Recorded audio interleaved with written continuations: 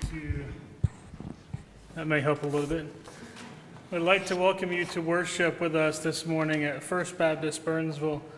If you're here in person or if you are tuning in via Facebook and online, there's a few announcements that I'll draw your attention to on the back of the worship guide.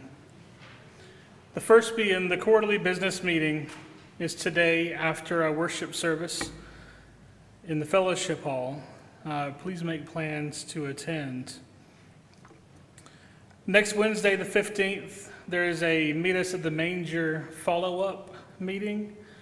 This is to talk about what we liked, what went well with our recent nativity display. If you haven't seen that, I would encourage you to go on Facebook and see the pictures. It was incredible to see this space filled with different representations of the Holy Family.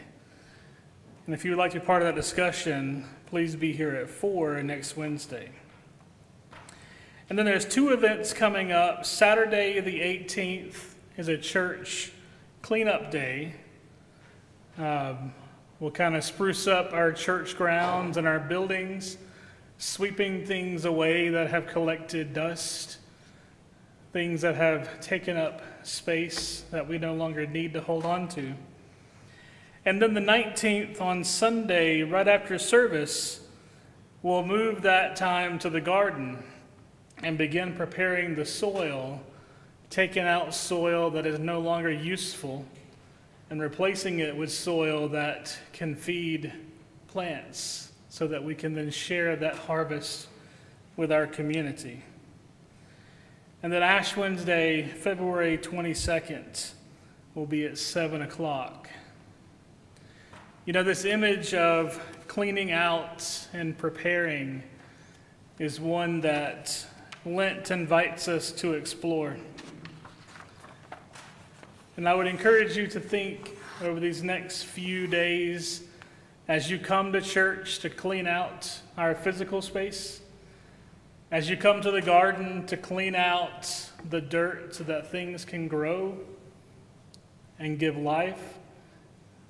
What might we need to clean out in our lives before Ash Wednesday when we begin the journey once again? Whatever brought you to worship this morning, whatever it is that you're cleaning out in your life right now, I hope that you find what you're looking for. Take a deep breath. Let us join together in worship.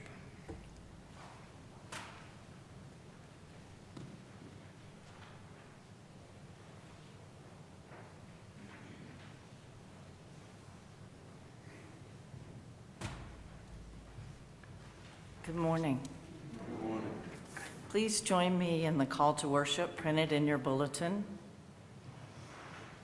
You could have stayed in bed. You could be eating breakfast out.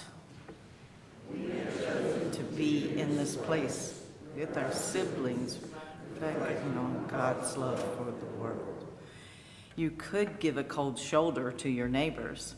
You could warm yourself in front of the fireplace we have chosen to be God, You could be chasing after the world's idols. You could be listening to television's talking heads.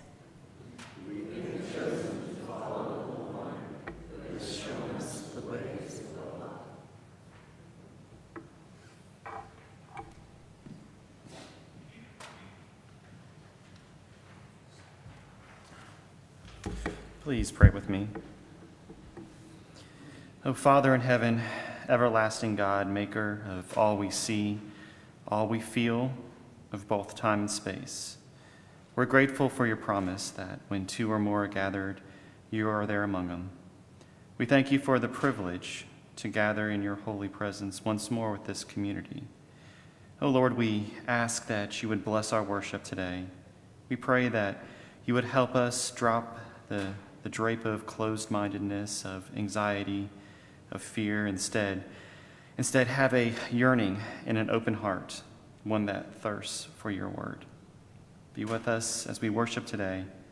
Fill us with wisdom to understand your will, and let us experience the peace that each believer possesses in you.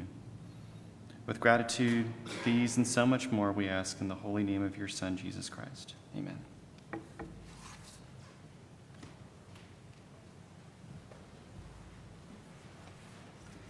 Good morning. Um, there is a song in your bulletin, the piece that we share. Um, notice that the refrain is in bold and that we will sing the refrain after every verse. Won't you please stand?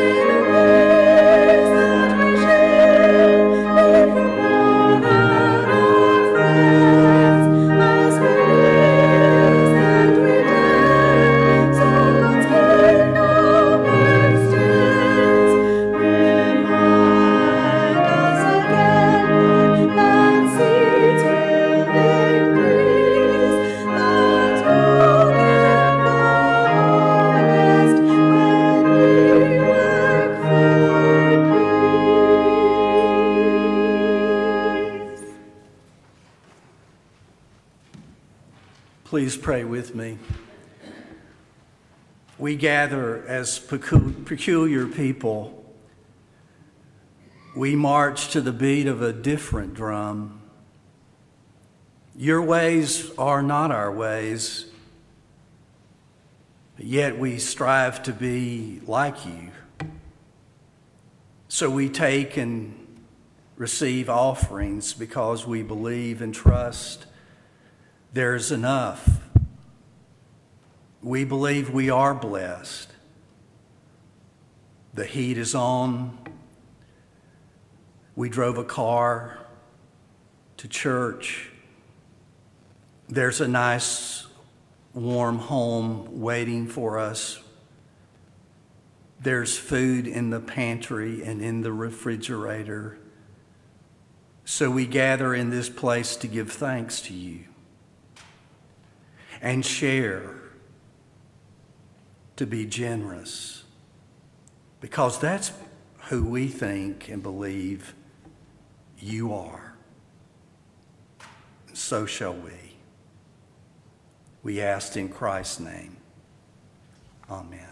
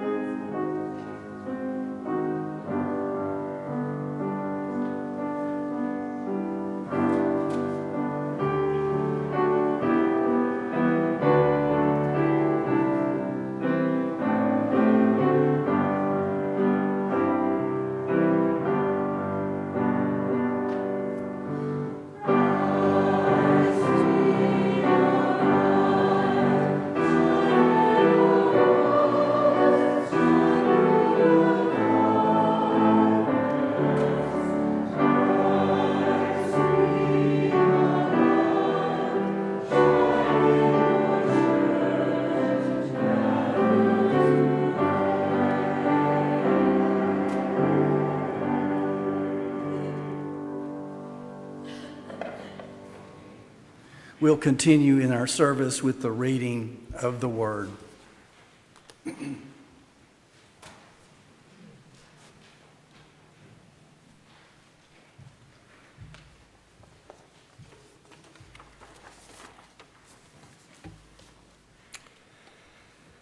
Today's reading comes from Matthew chapter 5, verses 21 through 37.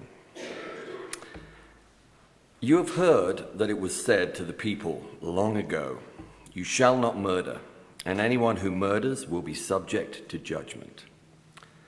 But I tell you that anyone who is angry with a brother or sister will be subject to judgment. Again, anyone who says to a brother or sister, Raca, is answerable to the court, and anyone who says, You fool, will be in danger of the fire of hell. Therefore, if you are offering your gift at the altar, and there remember that your brother or sister has something against you, leave your gift there in front of the altar. First go and be reconciled to them. Then come and offer your gift. Settle matters quickly with your adversary um, who is taking you to court. Do it while you are still together on the way or your adversary may hand you over to the judge, and the judge may hand you over to the officer, and you may be thrown into prison.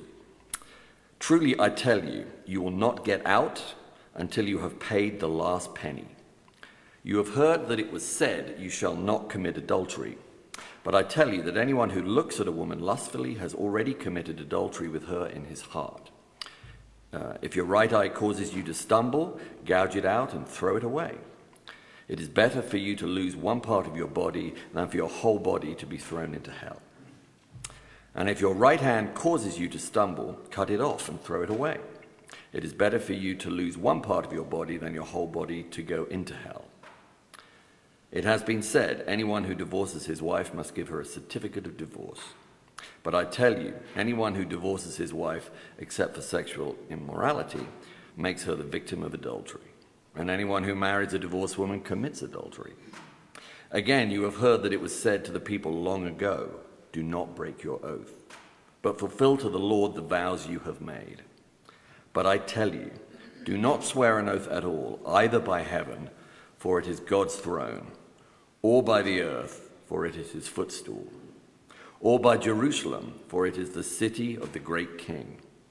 And do not swear by your, ha- by your head, for you c- cannot make even one hair white or black. For all you need to say is simply yes or no. Anything beyond this comes from the evil one.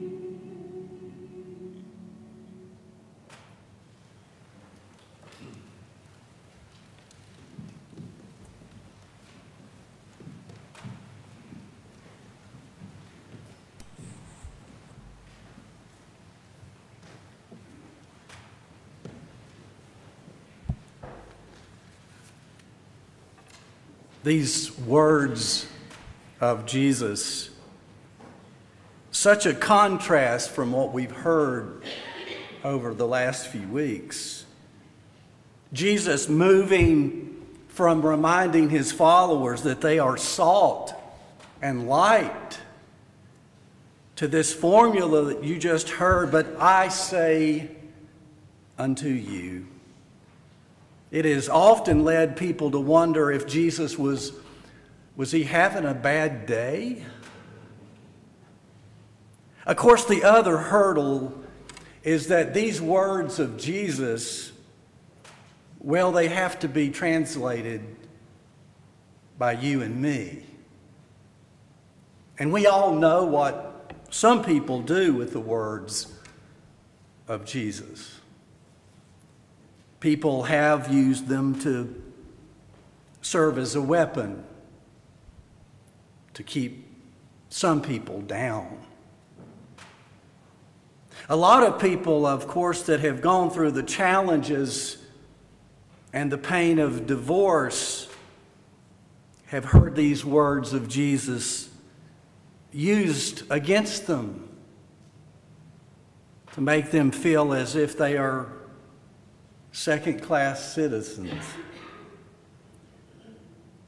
But I see this text a little differently. Jesus takes the law and he takes it a step further. For me, it wasn't that God just dropped the law out of the sky. For me, it was more of God meeting people where they were. And if people were going to make it, if people were going to survive as community, you couldn't have total chaos. There had to be some parameters. And the law gave people a chance because it gave them parameters. But the law can only go so far. The law is limited. You know, the law will never bring about real transformational change. It may provide parameters, but it can never change a person's heart. Right? The law can never change a person's heart. Law is limited in its capacity to bring about transformational change. While most of us may not really like what Jesus is saying, mainly because he's talking about sin, missing the mark. We may not like what Jesus is saying because Jesus doesn't lower the bar, he raises the bar. I love what Barbara Brown Taylor once wrote about sin. She writes The word sin has gone out of style in the last half century or so. She says that she had loving parents who helped her learn about the kind of behavior they wanted her to have without using the word sin. Instead, they set limits. They helped her to understand that there were certain things that would bring them closer together as a family, such as telling the truth, helping around the house being a good big sister to her younger siblings. And there were certain things that would push her parents away, such as trashing her room, breaking things, and smoking cigarettes. But, she writes, other children I knew were not so lucky. They lived with people who believed you could beat the sin out of a child. And they spent most of their time in hell. In those spiritually battered souls. And if, they, if those battered souls had any appetite for God left when they grew up, then they had an enormous amount of work to do before they could conceive of anything close to a loving judge. I thought about in this limited time what is it that we really need to talk about? These words of Jesus. What is it that we need to talk about? I couldn't help but wonder about this thing that seems to be running rampant in our culture called anger. I mean, we've all seen it, haven't we? Lately, we've seen it more than we would like to see anger, it seems. Dallas Willard once wrote, he said, We may become an angry person, and any incident can evoke from us a torrent of rage that is kept in constant readiness. Have you ever lived in a moment like this? Where anger seems to be just fashionable? It just seems fashionable. I had a visit recently to the VA it's one of the perks of having served the nation is I get VA benefits, which I'm grateful for. And I had an eye exam, and on the wall where the doctor helps treat patients was a note on the wall. I was grateful because I could read it, first of all. But the note said this I wear my mask to protect you. Your mask will protect me. Let's love our neighbor and wear a mask. So as I was sitting there, I said something to the doctor about the note. I said, That's a wonderful example. In this moment, whatever it is we're living in, a good example of how we love our neighbor. But it seemed to me that early on in the pandemic, it was so obvious how little regard there was for neighbor. I remember coming home in the early moments of the pandemic, and it was so, somewhat frustrating. There was a little girl outside the grocery store. I thought, what a terrible job that must be, handing out masks being a teenager, and as I went into Engels, I noticed some people sort of swatting away the young teenagers' attempt. I remember how frustrating it was. That surely we could do better. Love our neighbor. There's a children's book that is often read around our place entitled Out of a Jar by Deborah Marcero. The book is all about what to do with feelings, to to paraphrase the book, is simply this. The entire book is about this is that we need to be courageous enough to feel our feelings, to share them, to look them in the eye, give them a hug, and then let them go.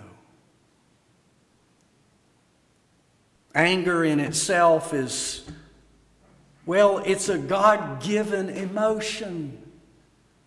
And nowhere in Scripture are we told that we should never be angry. It's a human emotion that we all have.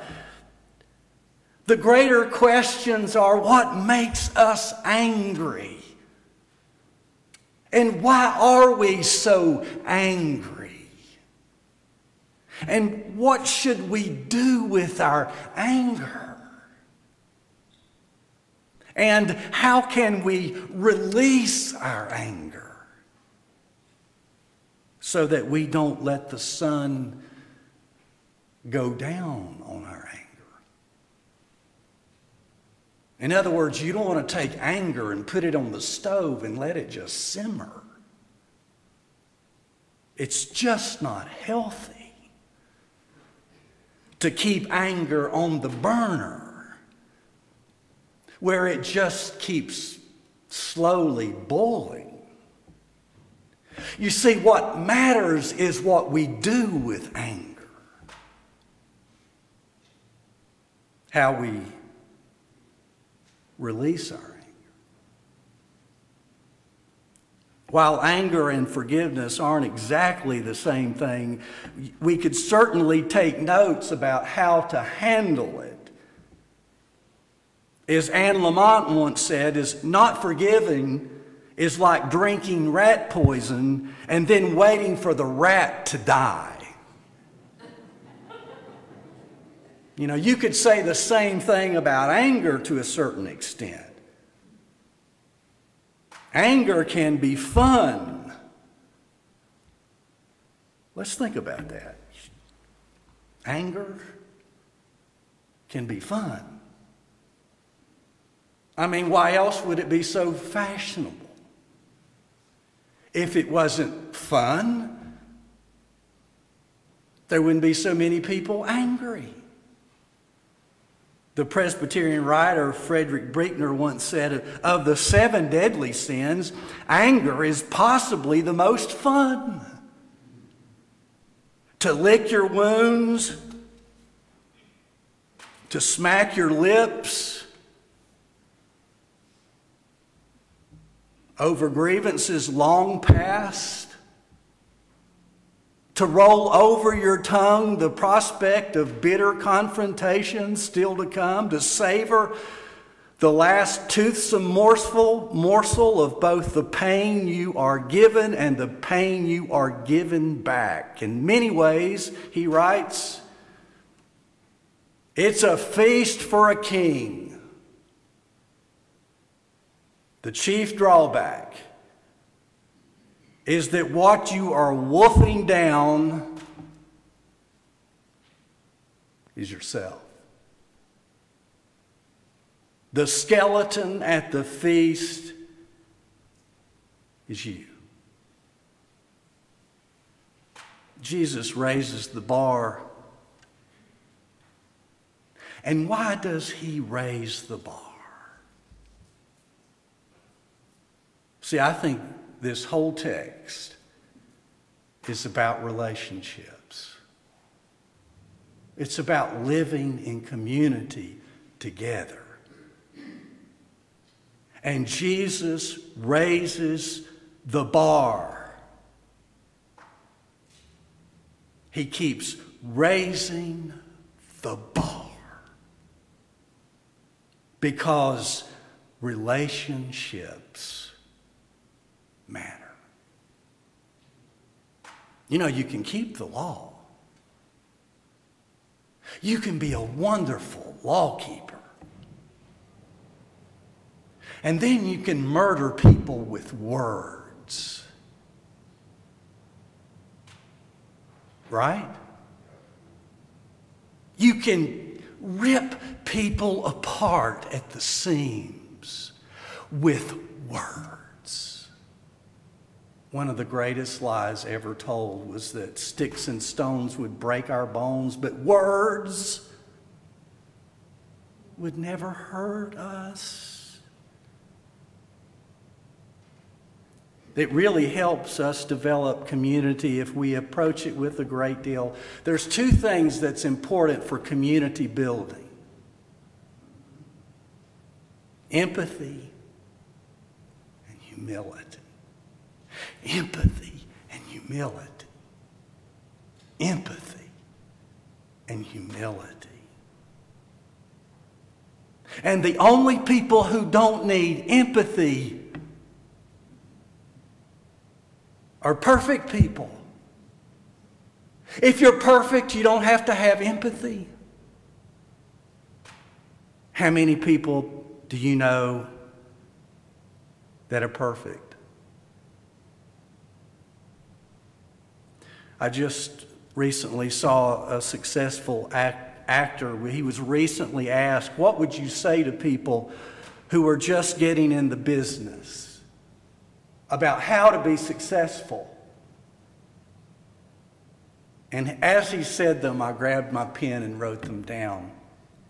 He said, Well, I would say to them just three things be polite, be on time, just be kind to people.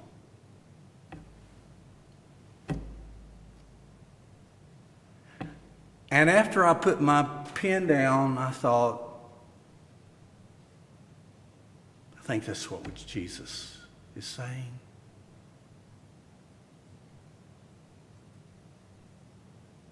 Be polite. Show up. And be kind to people. You see, the problem with anger or lust or any of the seven deadly sins is this they are a sign that we have forgotten who we are and whose we are. We have forgotten that everything we believe is built on the twin foundations of a loving God and loving neighbor as ourselves. We've fallen into the deadly habit Barbara Brown Taylor would say, of treating other people as someone we can use, someone that we can fix, someone that we can save, enroll, convince, or control. Instead of someone who can help spring us from the prison of ourselves. My mother was the most influential person in my life. The matriarch of our home. She made sure that she went to church and that we went with her. And I had the privilege of watching my mother live out her faith. She wasn't a preachy woman. She wasn't a preachy woman. But she would say to me over and over and over again that going to church doesn't matter. If it doesn't help you treat someone kindly, it doesn't matter. It doesn't matter if you go to church or live, the, live by a law if you can't treat people with a sense of love and dignity. Isn't that the core of our nation? That this nation was built on the foundation that we are all created equal. We're all created equal. But you got to live it. That's what matters. So, what's this place for here? Why do we sit underneath a steeple every Sunday? Well, I think the best thing that happens in a space like this one is that when we gather, that together we practice the art of letting go. You know, we all have some stuff we need to let go of. Now, some of us may have more than others, but we all have stuff to let go of. I'm not foolish to believe that I know what you need to let go of. I want to be humble enough to admit to you that I've got stuff to let go of. The question for all of us today is what is it that you need to release today? And isn't that the question that Jesus was really raising?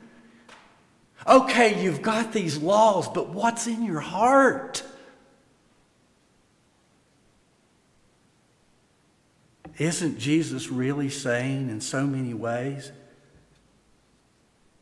just remember who and whose you are.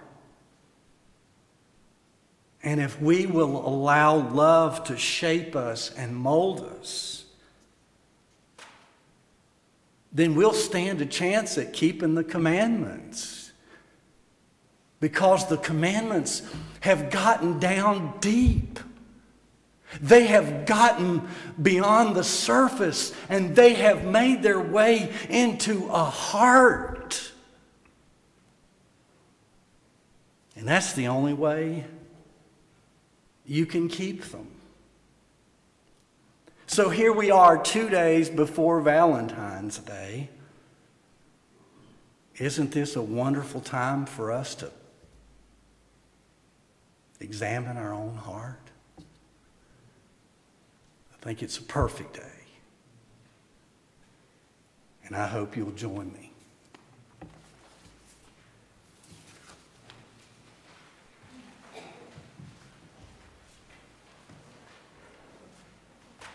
Won't you please stand and turn in your hymnal to hymn number 283 and let us sing, Take My Life and Let It Be Consecrated.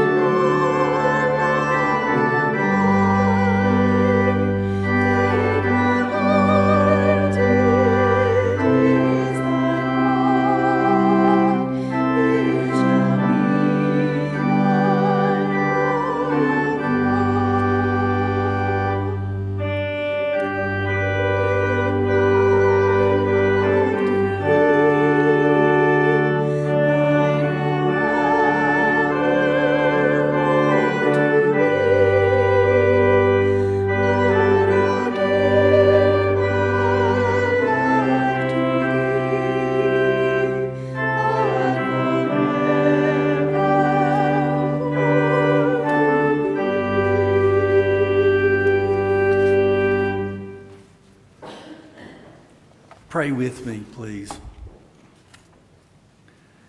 While your words challenge us, O Lord, you call us into deeper waters of what it means to be loved and to be loving. And how we treat other people is all the proof the world will ever need to know who exactly we really are. Help us to be kind, polite, and loving so that the world may come to know you. We ask and pray in Jesus' name. Amen.